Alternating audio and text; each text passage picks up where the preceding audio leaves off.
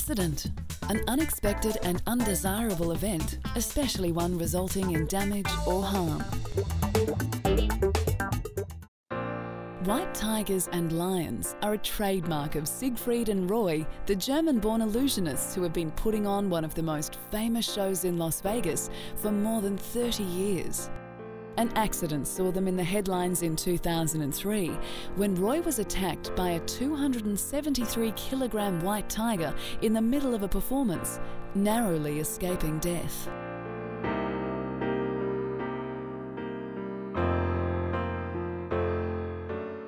Having performed in Las Vegas for more than three decades, Siegfried and Roy established box office records for the city.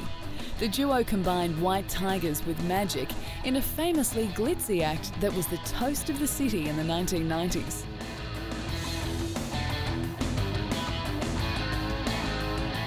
The pair became partners in magic after meeting on a boat. They toured the world and featured rare white tigers, which they later bred in many of their acts. They settled permanently at the Mirage Resort on the Las Vegas Strip in 1990, in a showroom built especially for them, where their splashy and spectacular show featured disappearing tigers, pyrotechnics, and outlandish costumes. On October 3, 2003, the show started out just like any other before a male tiger grabbed Roy by the neck and dragged him off stage during a performance. As a distraught Siegfried and a stunned audience watched on, handlers sprayed the tiger with a fire extinguisher to separate him from Roy, who was conscious when he was rushed to undergo two hours of surgery at the University Medical Centre.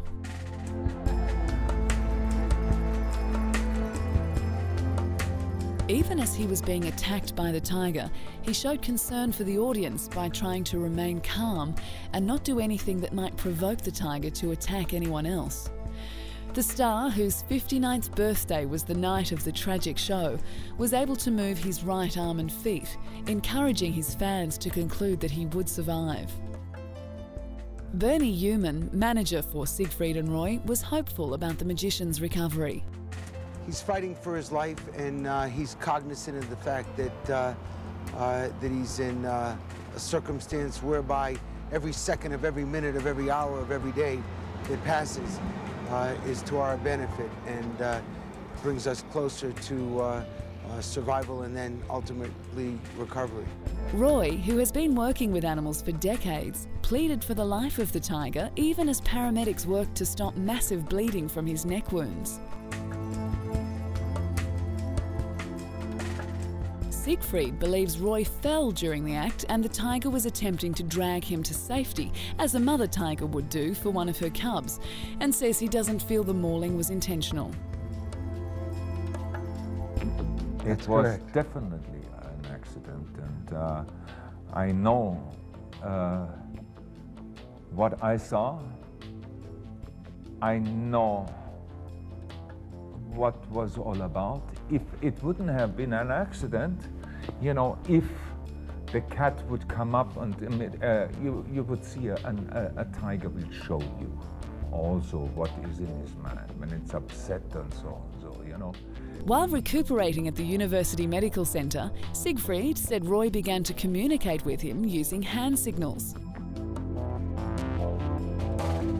It's slow for us. Doctor, they think it's a miracle. Uh, like I said at the beginning, uh, he, uh, last night I left him and he had his thumb up. Today, when I talked to him, he gave me the peace sign and the love sign. And, uh, you know, every day we take it day by day.